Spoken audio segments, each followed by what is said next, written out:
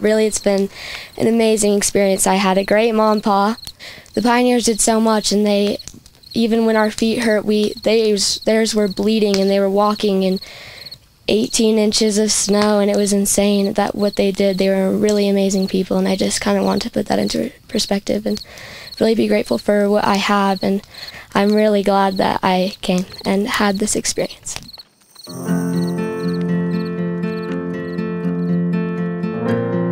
We felt that it's important to go on track because every time we go on a track, the lives of young men and young women and some of the adult leaders are, are changed.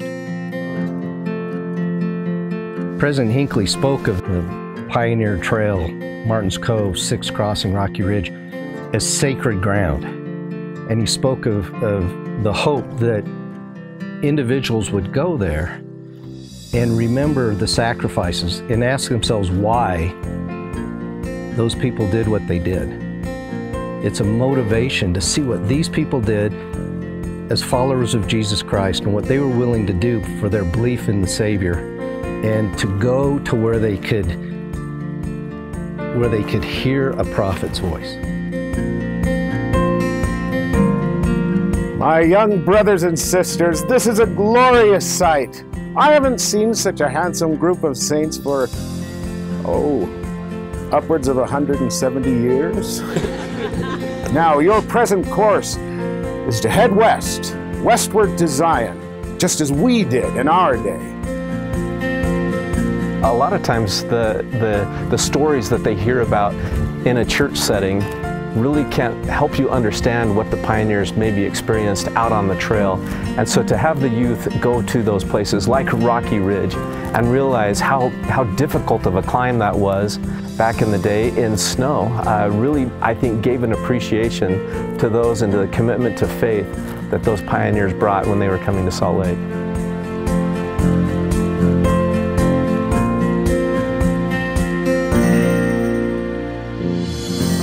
Okay. Okay, Salt Lake Trekkers, I think we're ready to go.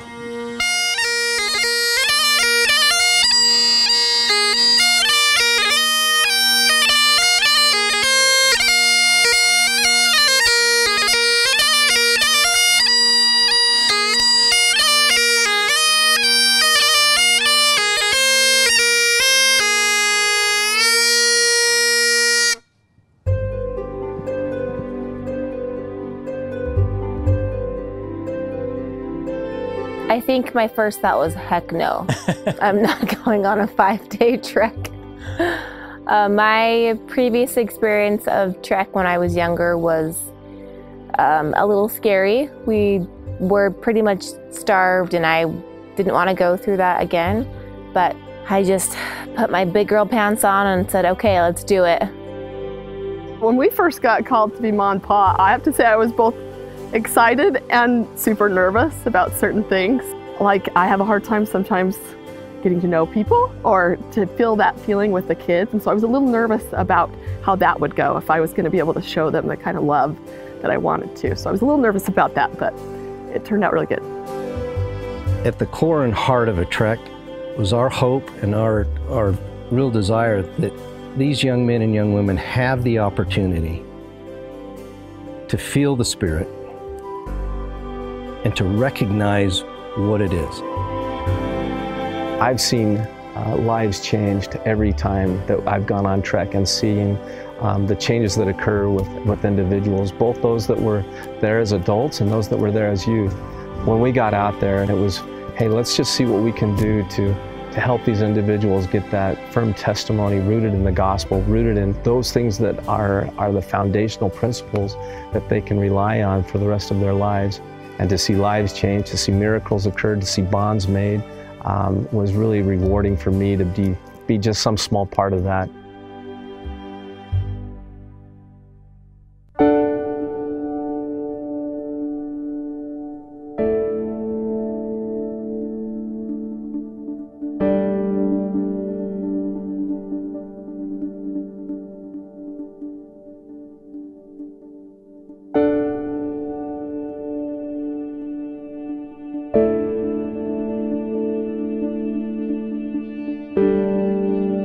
Really liked the first devotional we had because the scripture kind of like talked about what we were like doing on Trek. It was talking about how like the pioneers had a hard time. That's kind of like what we were doing. We were like seeing what they were going through. I liked Independence Rock experience, but the only part I didn't like is hiking up there because I had a skirt on and it was like super windy and it was blowing everywhere. I thought the Independence Rock was amazing. I don't think it's a coincidence Independence Rock was there. I think that God made it possible so that there was such a big place that people would know and it would direct them in the way that they were to go. And just climbing up there and being able to look around the valley and Devil's Gate and see Devil's Gate was surreal.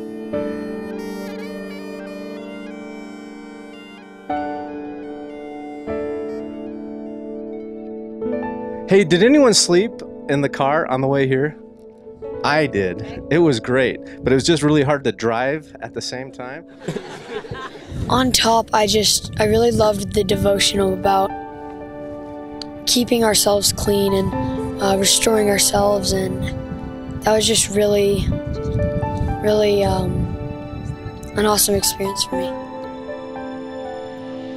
Being on top of Independence Rock was the first opportunity we had to really have a perspective of the area we'd be in and to have an understanding of some of the natural um, environment that the pioneers encountered. It's still today pretty rugged, pretty isolated, and you kind of can sense the feeling that they must have had as they encountered some landmarks along the way, the rivers, the open prairies. Um, it just helped me to feel connected to what they may have been experiencing.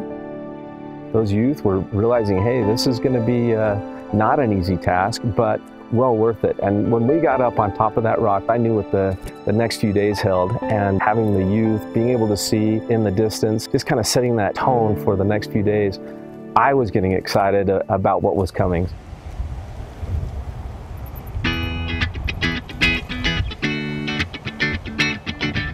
Has the potential to be something that's kind of a dreary, tedious, difficult thing, and all you can wait for is to get home and go to a 7 Eleven. That's not the way these young men and young women endured this. And there was a lot of laughing, they were helping each other. There was a great spirit and a great feeling that we're all brothers and sisters. They were doing something really hard. It was hot, it was windy, like it always is in Wyoming. We heard very little complaining. It's been really fun in a pioneer family. We are all like having fun with each other, being nice to each other. Well, I think it's fun. It's just like camping, but it's more walking. The friendship um, and the people that are here is just, it feels like being a big family. Everybody's just helping each other and being nice to each other, just like a big family. We had the beehives and deacons. They were more on our maturity level, so we were goofing off and playing a There lot. might have been some pranks that went down on this trek. We arrived uh, at Martin's Cove and we were immediately taken with our families to, uh, to the hand carts. After that, we were taken to see a film. It was, it was really moving because we had this gathering. I remember us uh, singing and just really getting in the spirit of, of, of going out to, uh, to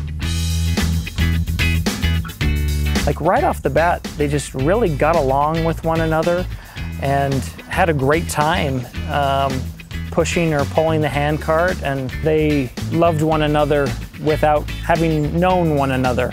And just the entire time, we, we could not have been more impressed with how they handled any of the circumstances that, were, that they were put in during Trek. I'm the type of guy that there's a time and a place for everything. So there's a time and a place to run through the puddles and have fun and hoot and holler. There's also a time and a place to be mindful and respectful and spiritual of, of what occurred. And, and that's really what I wanted to bring to our family, that they got to experience both of those things at the right time and place. I did a lot of reading about some of our pioneer ancestors, and, and they were tough. I mean, they, they had true testimonies to endure what they endured and to take on those hardships. I had a pioneer ancestor who was 13, my age, when he crossed the plains, and he was in charge of a wagon company. And he traveled 104 days on the plains. And he said that by the time he got to the Salt Lake Valley, even though he was my age, he was accepted as a man. That's kind of what I want to do.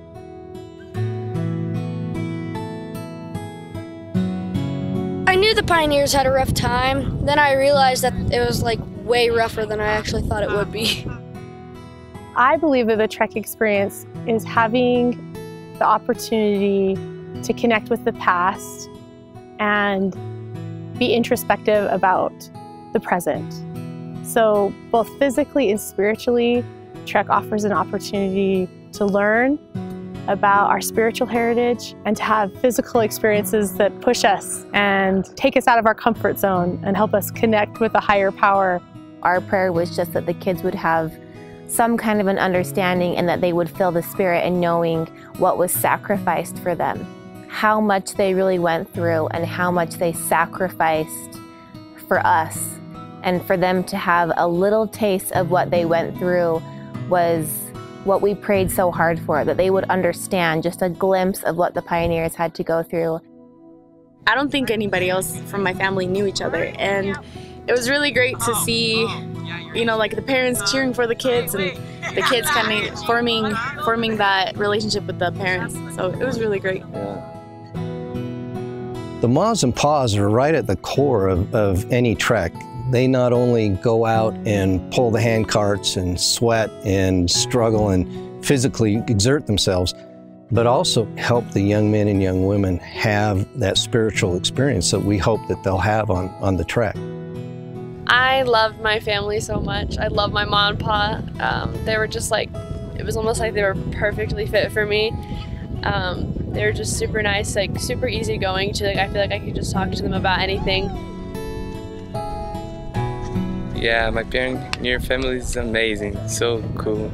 I like it. I love it. My family here.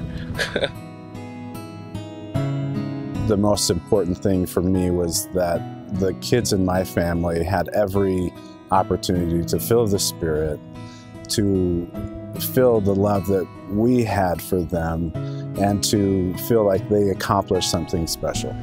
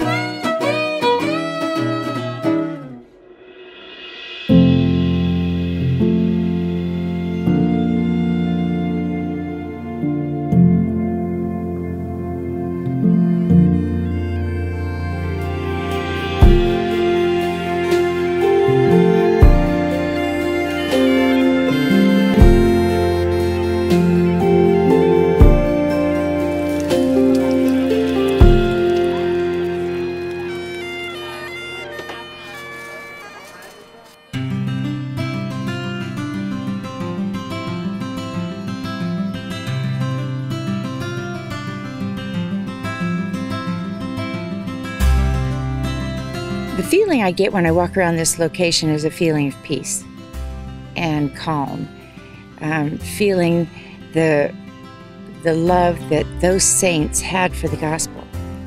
We have seen so many people's lives touched since they've been here. We have seen actually seen kids go out that did not want to come out on this trek. They were they were forced to come out by their families and when they left their countenances were different and they were different. I think what they learn the most here, the trekkers that come, I think is when they get to the top of the cove and they just sit down for a minute and look back down over where those people stayed and think about what they went through and what's going on in their lives. And sometimes they're brought to tears, And it's not just the girls and the women, sometimes it's the men and the boys that feel that spirit and are shedding those tears too. Uh, at first, when the stake presidency asked us to do a devotional, I thought, this is, this is pretty easy. And then when I learned it was going to be the first devotional, um, I became a little more concerned about making certain we, we tried to set the right stage uh, for Trek. Um, ultimately, I'm, I'm extremely grateful that we had that opportunity. Uh, but I think that, that sharing the words that we did and some of the stories that we did and then to peacefully and quietly watch um, the, the kids cross that river um, was extremely moving and touching to think about the snow and the ice and, and the young men that did what they did there.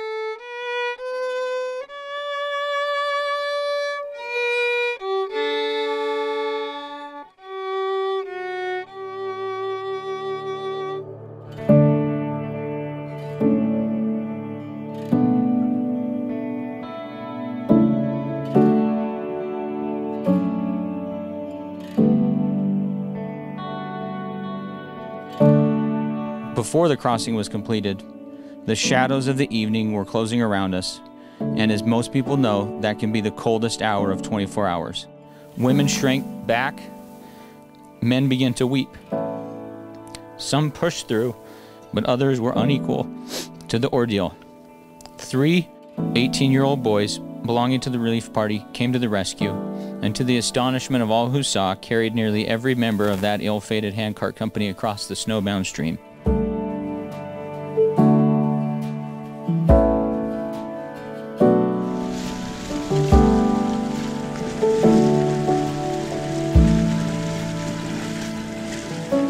Crossing the Sweetwater right before we went up into Martin's Cove was real special because we were all quiet. We really thought about what happened there.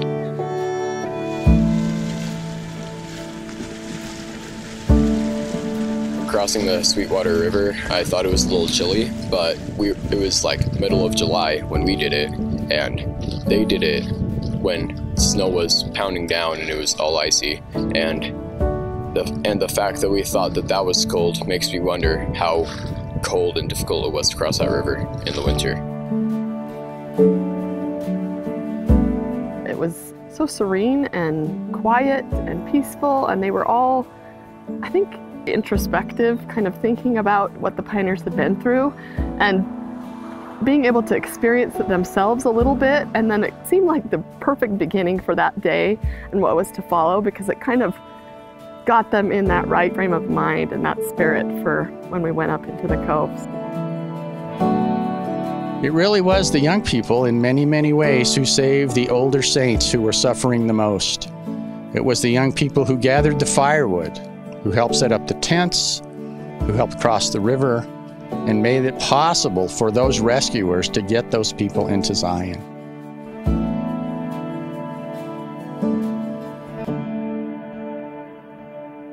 I wanted to go to Zion and dwell with the saints in peace. I am a widow. I have no husband to lean on in my journey. But Samuel, my son, is strong, and Rebecca and Sarah will help me. We are too poor for wagons and oxen. We can walk. We will pull a handcart to Zion. We have started, it seems, too late in the season. Our faith gives us courage. We cannot tarry. On to Zion, we cry.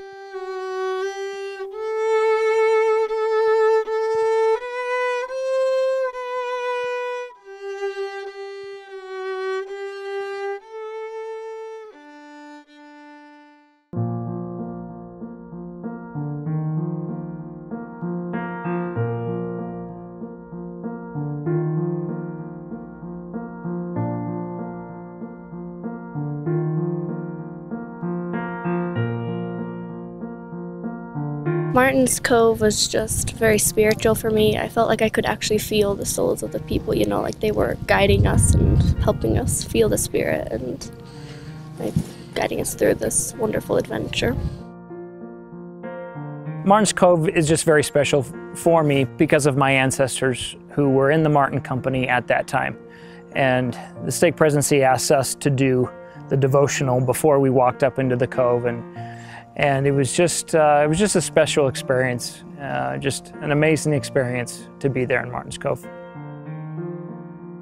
I remember writing in my journal and recording spiritual things and insights I was having and watching our kids having similar experiences, watching them interact with each other in a very quiet, thoughtful way. It was it was touching. It was really nice how silent we were during Martins Cove because it gave us a lot of time to think and um, to really experience what what was happening and to learn about all of all of the hardships that people face before going up uh, to Martins Cove. They they experienced some harsh conditions. They experienced um, they lost a lot of loved ones, a lot of family members. They're buried throughout, and to to go up and, and learn of their commitment to the gospel, I think is really what, what could be passed down for generations. And I think that was just part of their legacy is to leave that for those, those youth that came behind. And so I wanted our youth to go connect and, and feel what these guys had, had left for them.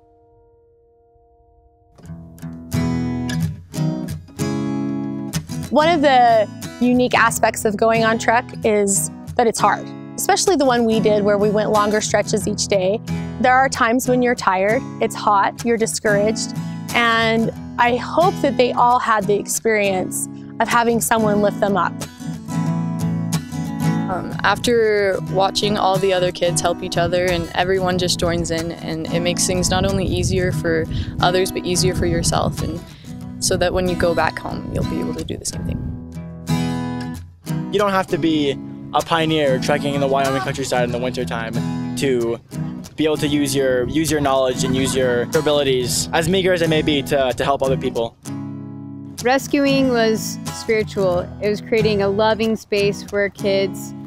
They were so kind to one another, and there was a lot of fun and love in our family. And so it was more of emotional, spiritual rescue as some of them would get blisters or have a harder time pushing or would just feel tired, to be able to say, hey, go, go step up, go rescue, go help, uh, push a little harder, pull a little harder. And I hope they learned that one, it's, it's okay to be rescued. And more importantly, we need to be looking for people around us who need to be rescued. I think the message was really great to help people get in that state of mind that there's others that need help and that you could be the one to help them. They were here because they had found something that's called the pure love of Christ. And you will find that when you're having a bad day, or you'll find that when you're struggling, if you try to forget your own needs and you try to help somebody, you look around, you find somebody that needs something, you might start feeling some joy and some happiness that you've never known before.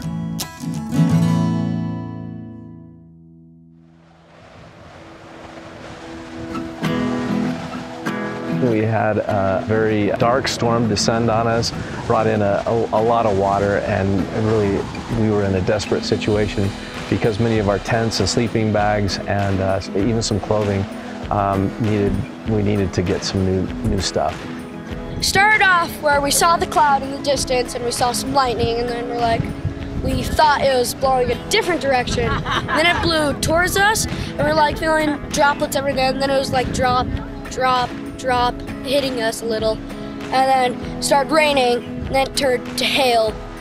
Like the hail was pretty hard but i mean it was really fun because it was like the actual pioneers. I like the rainstorm because we all went into our leader's car and played a game of Mafia, and I won. And luckily we had some rescuers nearby that were able to bring in some supplies and we were able to get those to us and we were able to weather that storm uh, and, and continue on the trek, which speaks to, I think, the grit and determination that we have and also the opportunity for us to be rescued by some of those coming in with those, those supplies.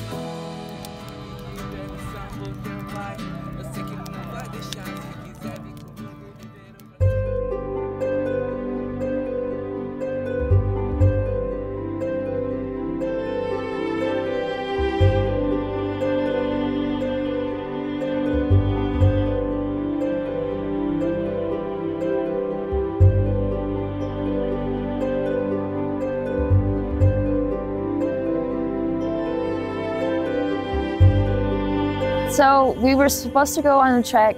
We weren't able to, but I had a dream that was very powerful and that led me to understand that we needed to go and make it happen. The youth that were in our group, they were all from such diverse backgrounds, and it was such a beautiful thing to be able to connect to them. And not only did they help us to have a positive experience, but it was incredible to see how our different personalities helped them. And she thought to herself, Do I have enough faith to go all the way to Zion carrying my sister in a handcart? And she did. She walked a thousand miles and never even stepped once into a handcart. So I look at that and I think, what an amazing young woman, how brave. Without faith, like we couldn't even do anything because like just like the pioneers, all they had was just like to have faith in our Heavenly Father. And so I feel like that's like a really big thing. I think it was being in the same place as them. I think it really gave me a new appreciation for like their hardships and not just imagining it in pictures. I think actually going through it gives you like an experience. And I think experiences are more than like pictures and words. those stories, you know, they have they have the spirit with them, and it's crazy that someone can go through that much, even though, you know, it's something. It's faith. You, it's not something seen. It's something that you you believe in with all your heart and stuff. So I think I'll always try to hold on to that.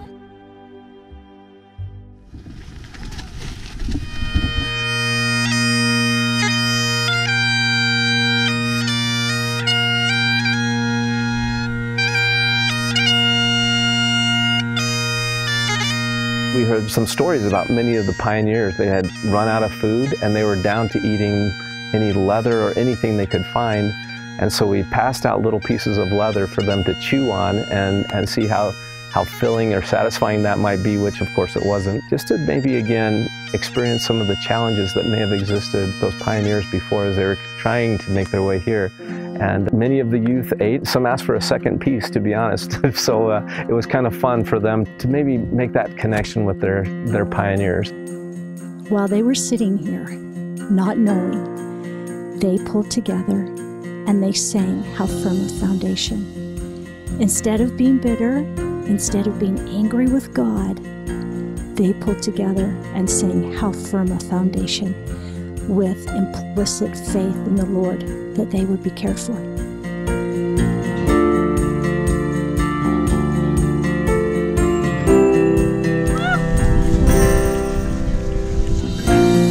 At some point in our lives, we will all need to be rescued, and we'll also need to be doing the rescuing. And I think we saw that multiple times throughout Trek um, the giving and the taking of being and being rescued and feeling like you had to go rescue someone. So it was a great theme, I believe, for the for the Trek experience. I was grateful for that small glimpse of being really tired and really hungry in the heat and for the kids to experience that because it was such a small, small glimpse of what they actually suffered through day in and day out. Rescuing was certainly one of the themes of Trek that you could see existing throughout just about all of the activities that, that were on Trek. The, the plan was that we would sit down and, and eat lunch, but of course we didn't have our lunch, and that was by design. And so that we were rescued by one guy pulling that handcart with all of the food in it, not us ourselves being rescued, but also us rescuing others.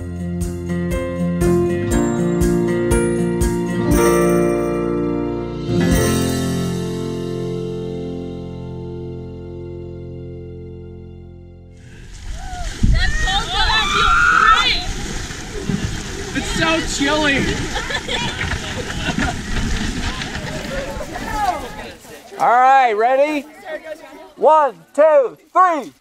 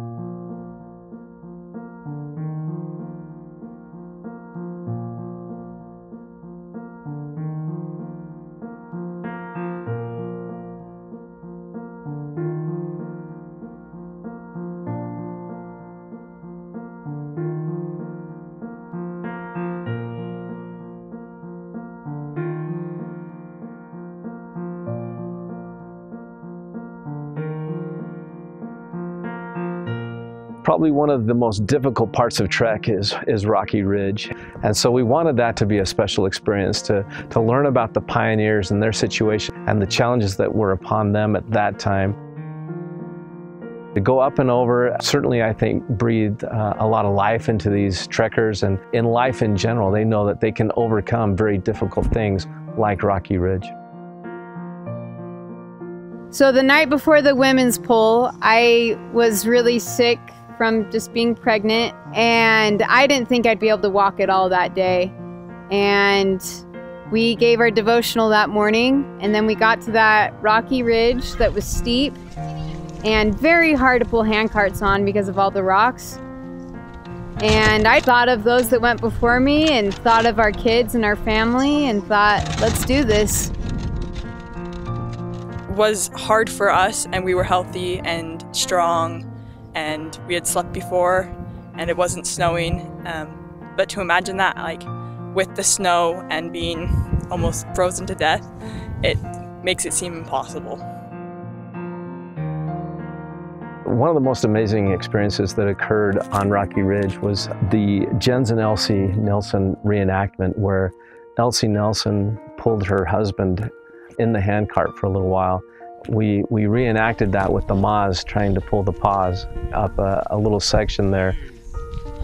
It was a really emotional experience for everyone watching, I think, especially because of the knowledge that so many people did things that seemed impossible. And they did it because they had to.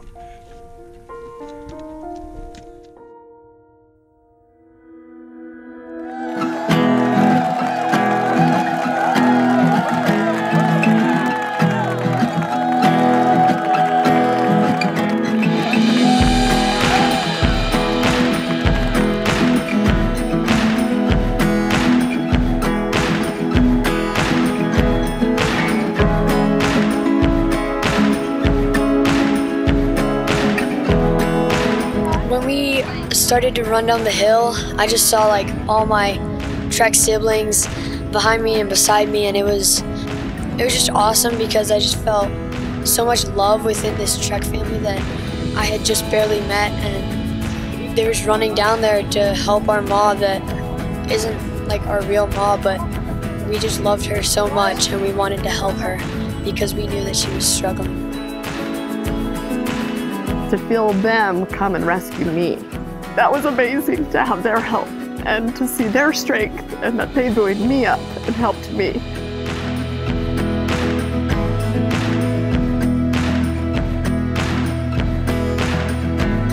I don't know how, how many dry eyes there were, but there weren't that many dry eyes in the whole group. But um, when they ran down and, and helped their moths out, um, was truly amazing. I think it's one of like a lifetime experience because not everyone can come here and experience the feelings that we have felt. Yeah, it made me think about how strong their faith must have been to go and do this like every day in the bitter cold while they were starving um, so that they could hear a prophet's voice. There are some people that just sat down and like, I'm done. And then there are others that just kept going and they had to pull their family in hand carts. And we had help, but imagine, I can't imagine doing that in like cold weather and like having like three kids in the car. They came because the prophet was up there and because they knew that if they wanted to live the gospel, they needed to be where the prophet was. Brigham Young was great.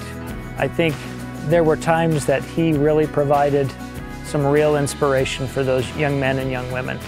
And it was just awesome to have him out there. I hope that our kids know how much we love them and hope for the best. They're not our, our real children, but we love them so much and we hope that they have happy and fulfilled lives. And this hope, we're hoping was a good foundation for them.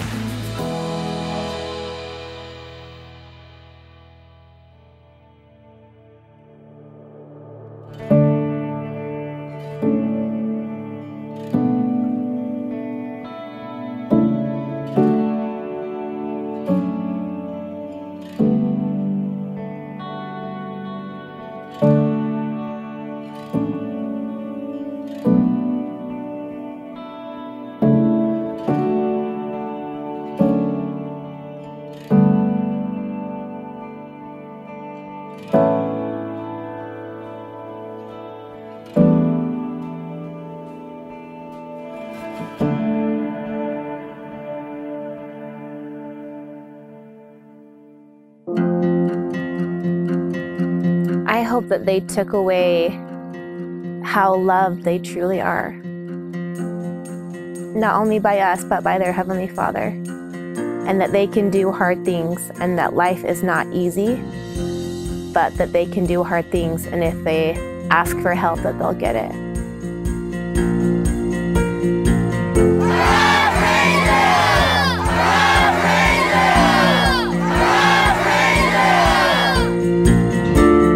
Hope that they had a strengthening of their testimony and of their Savior.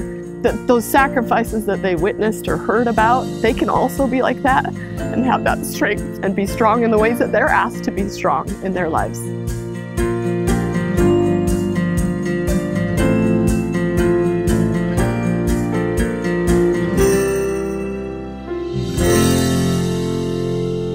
The testimony meeting at the conclusion of, of any trek will tell you a lot about what's happened, a lot about what these young men and young women have experienced. And one of our main goals, in fact, I think our focus on this trek, if these young men and young women experienced nothing else, we wanted them to be able to stand and bear their testimony that they had felt the Spirit of the Lord. That somewhere along that experience, the Holy Ghost had touched their hearts. Before Trek, I wasn't really connected with the Spirit. I've had a hard time trying to connect. And being here has really helped me to open up and meet people who are more connected to the Spirit and help me to accept Him and accept uh, the church into my life. I, I didn't even like really want to go when I first got here. I was like, oh, I'm gonna have to, you know, go and take time out of my life or whatever. But uh, once I once I got here, and you know, once I met the people in my family, um, you know, that changed. Uh, thanks to everybody that was friendly to me. I'd also like to thank my mom and pop because everybody just made it a really fun experience. I I just couldn't really prepare myself for how much I'd enjoy this. and um, had a great time uh, I this past week, and I really felt the spirit strong. I actually met new people too. That I didn't. They are great people. I've just met some of the most wonderful people, and this experience has just been so much better for me. And I say these things in the name of Jesus Christ, amen. The interesting thing about track and camp is just the simplicity of life, and everything just boils down, and it's e- just much easier to see like why we're here and what we're supposed to be doing. And we're not so caught up in, you know, life. I had this impression while we were in Martin's Cove that every single spirit that had been in those handcart companies was there with us at that moment. I don't know why. I guess first thing I want to say is obviously my family. I started to think I like them more than my own family. Mas passando por todas essas coisas que eu estou passando aqui com a minha família e com meus amigos, eu meu testemunho só aumenta a cada dia e eu sei que realmente essa igreja é verdadeira. Um, but going through everything that I have been through this week with you, with my friends and my family, just um, strengthened my testimony that the church is true. Everybody that was on this track really helped me, even when I re- really just wanted to sit down and just leave or just not push anything and just go, go home. But everybody that came, they were pushing me along, and it really helped me a lot. I'm so thankful to be here and I'm can't believe it's already over. It felt really fast. I thought it was going to be longer because it was longer, but it wasn't. Um, and uh, I just had such a great time. You guys are all awesome. My testimony has been getting stronger by little by little, and I'm really grateful for that. And, and I'd like to thank my Trek family for that, for helping me strengthen So thanks, guys. I watched my mom struggle and I thought, I don't know how she did it. I really don't. And um, I thought sometimes we, we need to get rescued in life.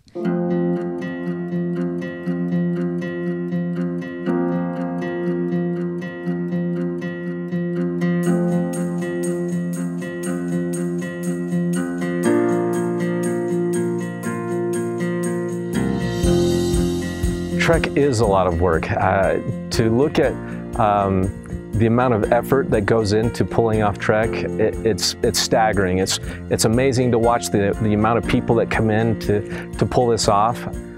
But in the end, if you can touch uh, one individual's life, it's worth it. It's worth all of that effort.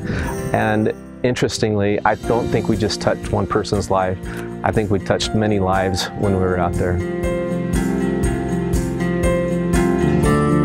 Can count on coming home and having at least one or two or three young men or young women having a life-changing experience and making decisions that will change the course of their life.